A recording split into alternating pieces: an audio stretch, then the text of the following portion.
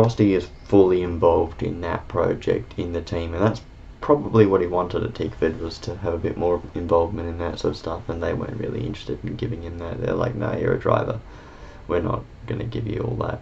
Charlie Schwerkolt has been very, very happy to have Frosty part of the team, and Frosty has ended up delivering him the first race win, um, which is great.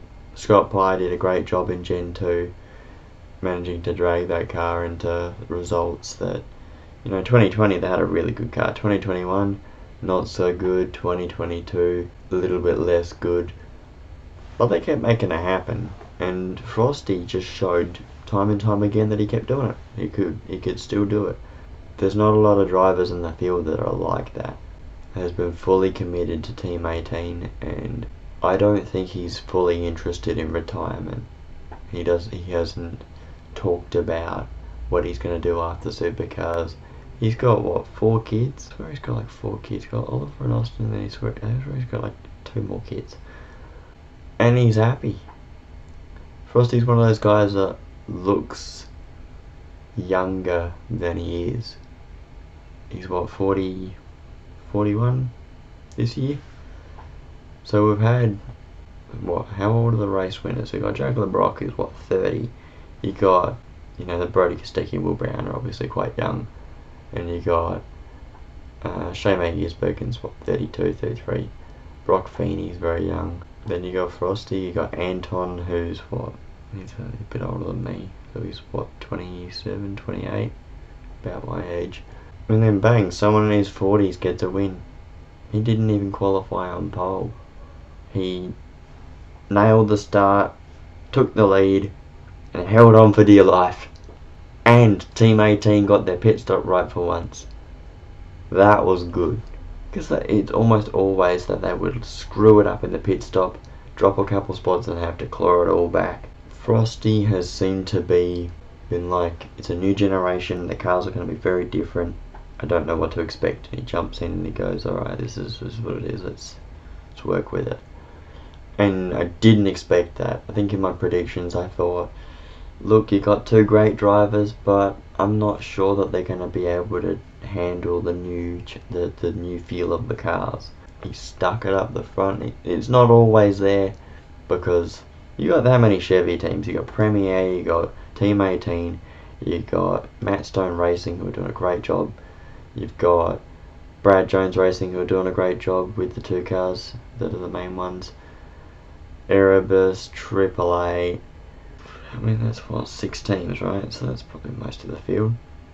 And then the rest are all Fords.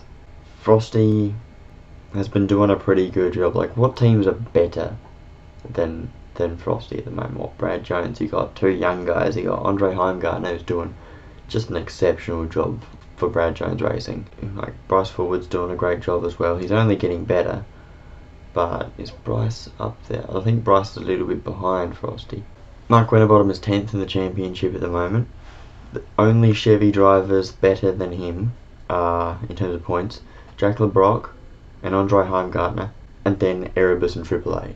Whereas you compare it to last season, Gen 2, what he come? Was he 9th in the championship? 2022? I think he was. He was what, 10th and 21, 10th and 20, yeah, I think it was 9th and 22. Jack Le Brocq's younger, hungrier, just been doing a better job. But on Frosty's day, Frosty can beat him. Uh, it doesn't happen all the time because he gets out qualified by Jack Le Brocq, uh, which is good for Jack, but not so good for, for Frosty. Um, but Frosty has never been, he's never been a qualifying king, I don't think. It's been pretty rare to have Frosty be the get the most pole positions in, in one year. He's he's been able to get pole positions. What was his last pole? 2019 at Team 18. Like he can do a lap. And what, what was the time before that? 20, 2016? But Frosty's one of those drivers where he's just sort of there pretty regularly and especially this year. The last few years, it's sort of been. It, eh, they've had the same sort of performance as they have the last few years, which has been they start off well, and they sort of on they're there or thereabouts, but half the time they're not there, and you go, when are they actually going to step up? And they are capable of getting top tens. And it's just competition. The nature of competition is that they're getting beaten um, by teams that maybe shouldn't be beating them. Matt Stone Racing and PremiAir probably shouldn't be beating Team 18, but you don't know what the situation is. Mark Winterbottom isn't going anywhere. He's going to stay at Team 18, and until he gets to a point where the results aren't there in terms of um, like it, like it, when it starts to feel like a grind, when it starts to feel like you're just going through the motions, rocking out race weekends, and going, not this again. Who's it's like Team 18 they got a junior driver. PremiAir are doing a lot of that, and I think that's, that's where I see it. Team 18 is one of those little mid-pack teams, all pinching people from one another and grabbing things from one another. That's sort of what it's like uh, on Mark Winterbottom, when you think about the elder statesmen of the field, talking about like Shane Van Gisbergen, and you're talking about James Courtney uh, and Will Davison, as well as Mark Winterbottom. They they go really well for a long time, and you see like James Courtney starting to peter off, but maybe he's just having a bad run because sometimes that happens. You could had two shitty weekends in a row, but the performance is still there there's going to be a stage where they go, like Jamie Whincup did, he went, I might not be as good as I used to be. We, should probably get someone else. I'm to do something else next year.